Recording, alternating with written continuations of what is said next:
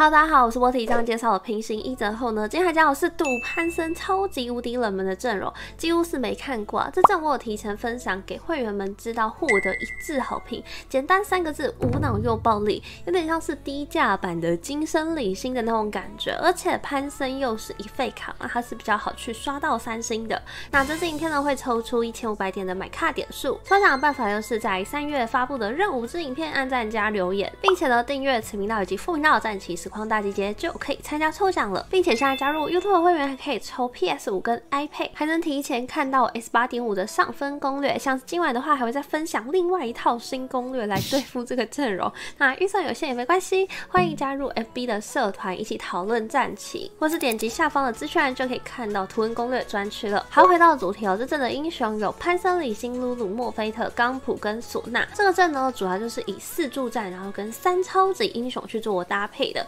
所以大家如果要去搭配这个阵的时候，就是以这样子的一个思路下去延伸即可。这套阵呢是由潘森当主 C，然后索纳跟露露呢当副 C，属于一个慢模型的法系阵容。潘森呢在目前版本之中呢可以说是超级吃香的，因为现在有很多强势的魔攻阵，像说匿名啊、尼可啊、好运甲、金克斯等等的。而潘森呢只需要靠龙爪这件装备就能够撑高魔防堆叠他的伤害，可以说是极度变态。虽然说现在有一些强势的务工阵了，但较的一个务工证都是在二费的毒狗比较多，跟一费的毒狗呢不太会去完全的卡到，所以呢，大家如果仔细研究过的话，就会发现一件事情：十三张的一费卡呢，其中竟然只有三张的务工角，凯尔、艾希跟纳瑟斯。这代表什么意思呢？也就是说，哎，今天大家都抽到这个一费的英雄强化的时候呢，你就是天克完全的一个优势开局。更何况呢，就是这号阵对付大多的务工阵也是有一战之力，相当无脑的。出装的部分，潘森必备的就是龙爪这件装备，再就是石像鬼啊、日炎好战反甲等等的弹装都可以给他。通常呢，我会先合两件套，就是石像鬼跟龙爪这两件。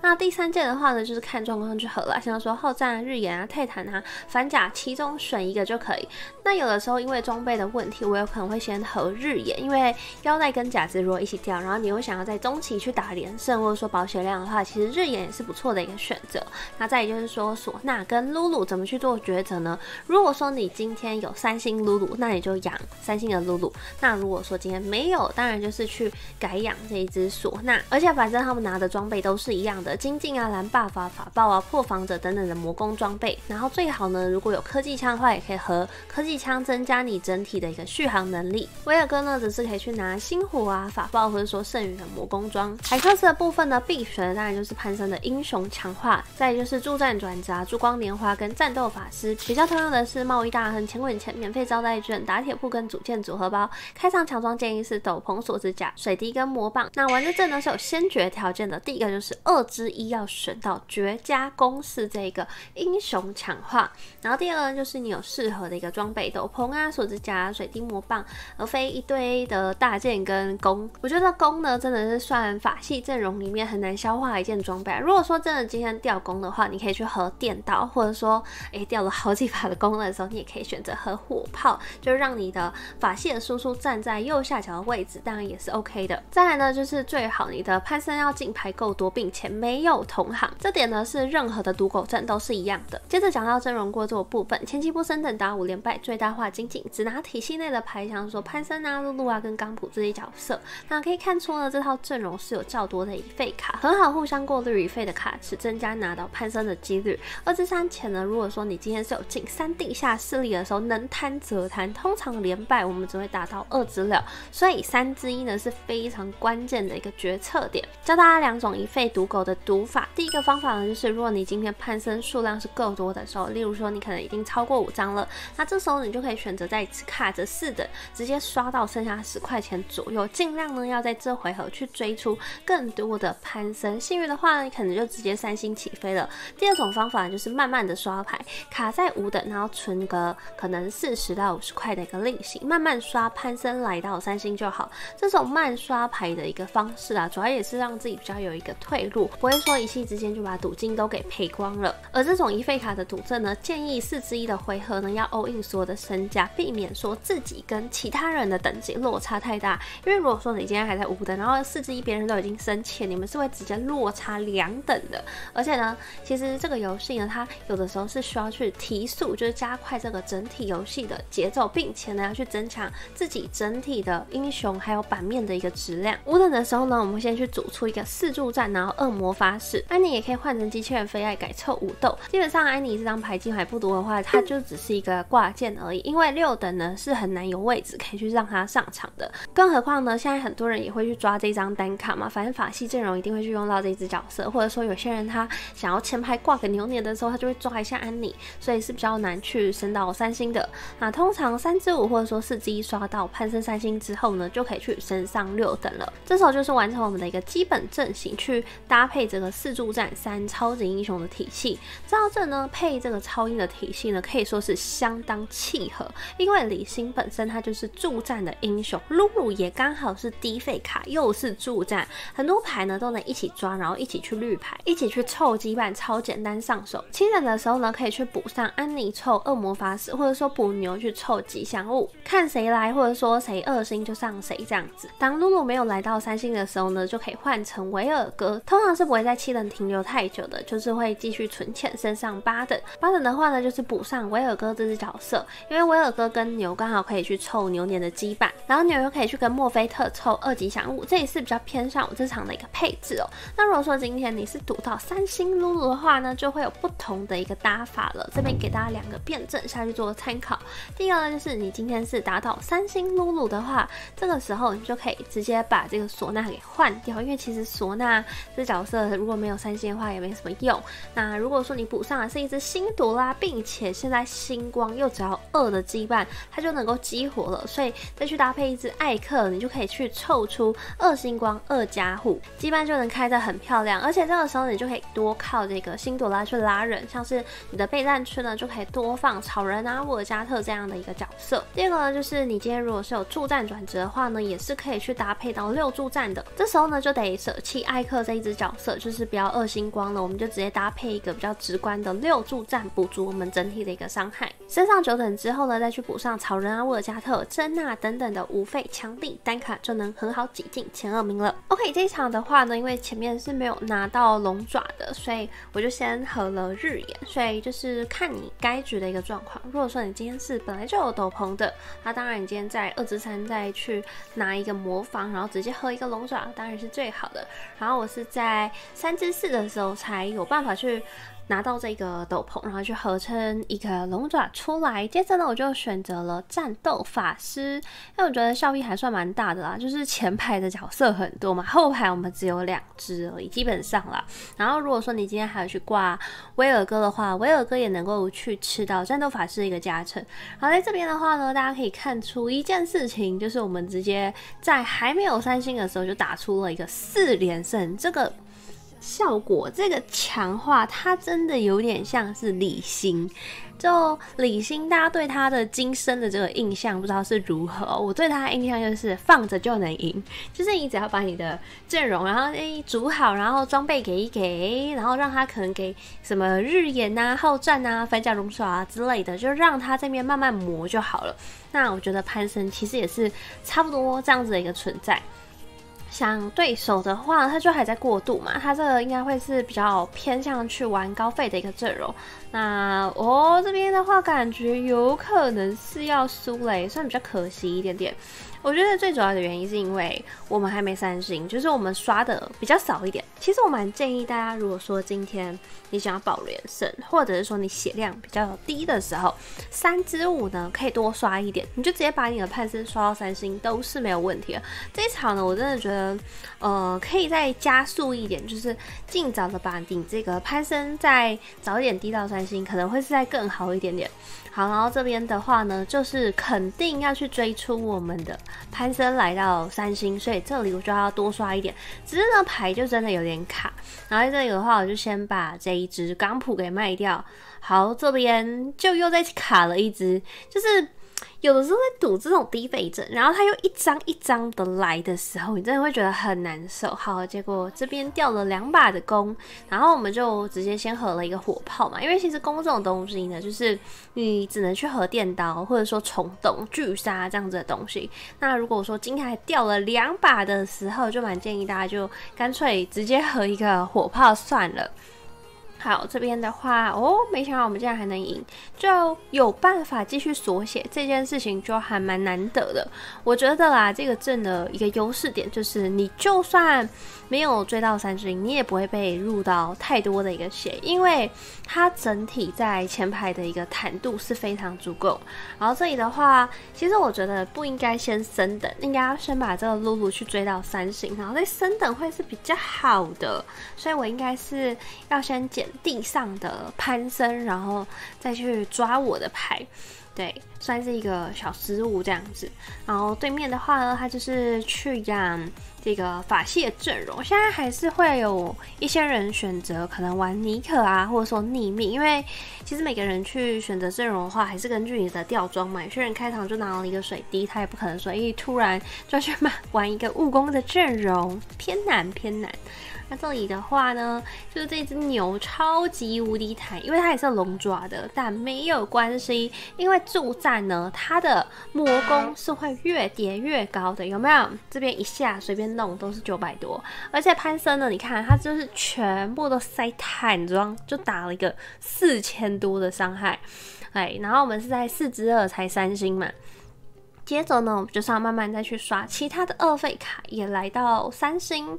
呃，比较可惜的就是我的露露没有三星，比较难受一点。还有就是我们的水滴也很少。其实这个阵容最好是要有水滴，或者说科技枪这样子的装备。那对手的话呢，他就是选择去玩叠叠乐的。现在其实蛮多赌狗，我真的都觉得可以玩了。大家应该有看过赌艾希吧？就是艾希呢，最近也是回归了，所以可能会比较怕。就是，呃，我觉得艾希其实还蛮强对，所以可能比较怕的呢，就是艾希。这样子一个阵容而已，但是你说一费卡之中十三张就只有三张是蜈蚣角，所以半数的人你都是打得过的，好不好？因为如果说他们今天都选一样，好，他就是要赌爱线，好，就另外一家也选到赌爱线，那他们就是一起下去了，就是手牵手拜拜。所以，嗯，其实我觉得这个阵容比较放心的一点就是说，嗯，十三张之中，反正跟你克制的角色也就只会有三张。而已。好，这边的话就是放上安妮，就基本上如果说你不知道去补什么话，这里有点在想说，我是不是应该赶快去刷出一张的钢谱？然后因为我在就是卡备战区的时候 把钢谱给卖掉了，因为那时候真的是已经卖到觉得要没人卖了，所以在很不得已的状况呢才把钢谱卖掉。这里的话呢，对面是已经有草人了，而且他拿的呢就是这一个。哎，露西恩的，他就加经验的一个英雄强化。大家可以看到一件事情，就是这个露西恩完全打不动我。不过，哎，其实也可以看出对面的一个思路啊，他想要上九等，感觉上呢，他就是想要依靠这个露西恩，然后去疯狂先升上九等。OK，我们这里终于差一张露露了，真是太感动了。然后现在大家呢摆位的时候呢，就是要稍微特别留意一下，像对面的话，我靠，他这个人是已经有骑手皇冠的嘞。然后有些人可能还在赌菲欧拉啊，或者说亚素啊，亚素的话就是会有一个大范围的控场嘛。然后或者是说像现在比较多的一个骇客的角色，所以你就可能要稍微去左右摆一下，稍微去骗一下敌人的位置。这里就是在多刷了一眼之后，发现嗯，墨菲特偏难刷。哎，因为现在如果说你今天选到一二费的好了，那你可能就会有一些超音的体系，会是跟别人比较撞到的。我有点犹豫，在想说是不是应该把这个菲欧拉给抓起来，因为这个菲欧拉呢来好几次，我就想说他是不是在暗示我？好，那我就直接拿了好了。大家如果看过我之前在介绍那个顶尖对决的影片，就知道菲欧拉很强，而且我觉得菲欧拉其实他只要出坦装就很强，就不管是什么样的坦装都有一定的一个战斗能力。结果对面，我靠，他这个控场很关键的，就是让我的潘森直接被控的死死的。不过也是打了一个五千多的伤害。这边的话，感觉就是百位没有摆好，然后我们的唢呐没有办法去滚动他的一个雪球，没有办法像永动机一样，就是帮我们的潘森去补血。如果有科技枪，其实我觉得是比较好的一件事情。那这里的话呢，就是看到还有人哦，因为他是有高档货的啊，所以他这边已经有乌尔加特了，然后。又有草人，算是比较麻烦的一件事情。OK，而且他的轰雨是有拿到狙击镜强化了。啊，在对上这一种务工阵的时候，就是我们比较难打的时候。不过大家没有发现一件事情，我的潘森一个顶在了最前方，哇，这一晕就是一千两百多啊！而且他在晕眩也晕很久，他晕一点五秒嘛。然后他这边就直接打了一个六千多的伤伤害，有点厉害。好，这里的话呢，因为没有人可以上，所以就先去随便补了一只，再补一只唢呐。其实最希望的当然是说，可能有些什么沃尔加特啊，或者说辛图拉、珍娜之类的无费单卡，不过因为我们的就是等级比较低嘛，所以比较难去找到这样子的角色。好像对面的话就是要玩九五大阵的，有没有？他就是跟我猜的一样啊，因为其实拿路线就很容易去身上八等，然后身上九等，然后像他这里的话，但是呢，这就是有一个风险，就是如果你今天遇到这种我们大成的阵型，而且呢，有没有攀升完全敲不死？你就会被扣很多的血，像他这边有没有直接触发这是什么最后一搏，是不是剩最后一滴血啦？OK，这个转盘的话呢，嗯，有点在想要去拿，其实拿西风也可以啦，但是最后想说就是弄一下我们这个珍娜好了。因为珍娜的话，可以跟我们去凑一个魔法使的羁绊，而且我觉得现在珍娜的话，效益算是比较好一点点，就是它至少有一个基础伤害，就不会像说之前哇完全零伤害的那种感觉。OK，对手的话呢，它是一个枪手体系，就是无限枪手体系，而且它的转职徽章非常的多。这边最怕的就是那个一泽直接扫了之后，然后我们就整个全灭。而且其实，在打这种枪手体系的时候，或者是说务工阵的体系，都是比较吃力的。但是因为我们有石像鬼，石像鬼最好用的就是你今天不管打法阵或打务工阵容，都是很可以的。像这边有没有，就是扛超久。这样应该有让大家觉得，就是潘森就是那种理性的既视感嘛，就是他真的太能扛了，而且他至少是扛呢，不是一直给护盾的那种扛，而是他本身的物防跟模仿就很高。像这一场的话，其实我没有这个科技枪，如果科技枪的话，当然是更好。所以其实我自己还蛮喜欢补唢呐的，最主要原因就是它可以一直帮你的攀升补血，你就会发现哇，它就是一个涌动的魔术级，就一直补一直补，然后我们的。攀升回血了之后呢，它又可以一直晕眩，像这边它会跳谁呢？然后这里的话，我要被晕到了，有点可惜。像这边的话，就是被控场啊，就比较大的一个缺点就是被控场这件事情。所以有的时候，如果你遇到那种就是太多的一个控场角色的话，你可能要自己稍微注意一下自己的一个摆位。OK，那我们来最后一刷，先升上这个八等，然后我也想说，看能不能刷到一些。其实我最希望的是我的露露能三星啊，大家应该知道，我这个露露就只差一那么一张了。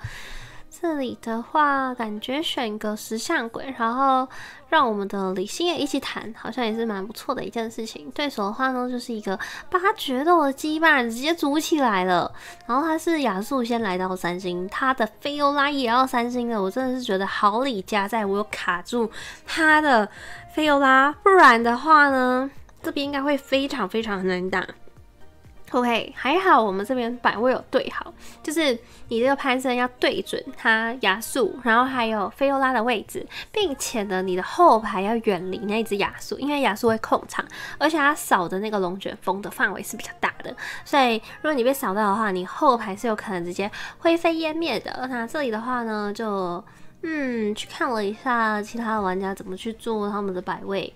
一折一折的话算是比较难躲一点点，然后我也是耍了一些小心机，就是我会去移我的这个火箭飞犬的位置。其实我自己还蛮喜欢拿火箭飞犬的，尤其是在第三个出现，第一个跟第三个出现我都觉得很好。第三个出现的时候，你就会发现你自己有那种阴人的手段。哦，我们这个唢呐很可以耶，它这爆发一个也是差不多来到一千的伤害，暴击的话随便就打了一个八百多的伤害，而且唢呐这个角色就是比较冷门一点，他在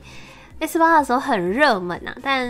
我觉得新的赛季的话，拿唢呐的人真的是偏少的，大家都是比较，如果法系的话，大家可能会比较偏向去拿勒布朗啊，或者说尼克啊，跟逆命，就是在魔法史来说，它是比较冷门的一只角色。那在这里的话，像有没有，我就直接用我的潘森对准了他牙术，所以他牙术这个伤害完全没有办法起舞，而且我们是潘森一顶再顶，一个顶就一二。二一，我这边开始顶这个费欧拉了，顶你，骑你，骑在你身上，有没有？我靠啊！菲欧拉这个角色很怕晕眩，所以潘森呢，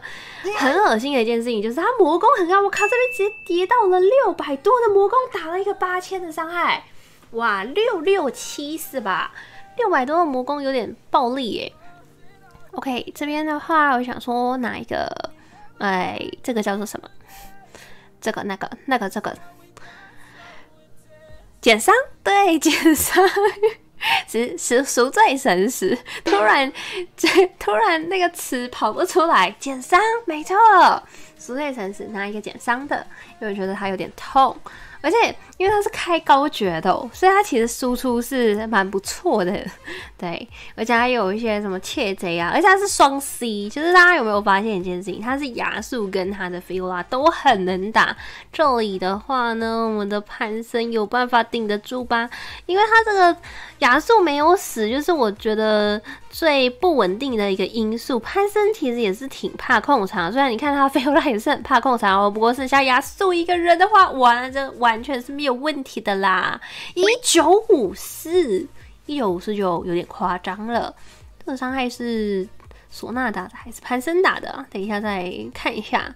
OK，这里的话就是要赶快刷我们的露露来到三星最后一刷。不过那个星朵拉，我相信露露，相信大家知道吗？相信这个两个字怎么写？就好像你们一直相信自己会交到女朋友一样，我也是相信我的露露会达到三星的。所以这边有就是相信的一个概念，我们要维持我们的信念。哦，这里的话，我的攀升也是对的很准。反正你的攀升就是尽量顶在你想要顶的人身上，你们懂那种感觉吧？OK，然后尽量就是，呃，我们这边唢呐就是远离那一只菲欧拉跟亚素，就可以保持一个安全的距离。OK，他这边直接投降了，超级无敌恶心。珍娜的话，他那个龙卷风，我觉得在后期的话也会是一个蛮大的加持。然后如果说你今天遇到骇客的话，其实你就缩脚摆就好。尤其是呢，珍娜这个角色，你就更好有机会去防范嘛。而且呢，这个阵容它有非常多的一个前排角色，所以它是比较好去防骇客的。大家如果要缩脚的话呢，也建议缩在右下角，而不是左下角，因为左下角突出一块，所以你最好塞的位置呢是塞在右下角。虽然说我们最后是没有三星的唢呐，也没有三星的露露，有一点可惜，但大家应该有发现，就是它是真的非常好挤进前四名，甚至前二的。如果说它的菲欧拉来到三星的话，其实我们可能吃鸡的这个能力不一定，但是也很有机会，因为只要过了它的这个水银的。时间，那菲欧拉就会一直被控场，一直被控场。所以我觉得潘森这个角色的优势就是在于说他的防御力超级高，然后呢他又可以一直晕眩敌人，并且呢他的伤害是可以一直无限叠加，因为他毕竟是一个助战的角色嘛，所以他的上限呢是会比较惊人的。就更何况他后期还可以去配像说辛朵拉跟珍娜这种单卡。就是我本来觉得这只角色，因为为什么是助战，感觉好像有这么一点点的尴尬，但玩过了之后你就知道，我靠，他配助战真的是超级。无敌香。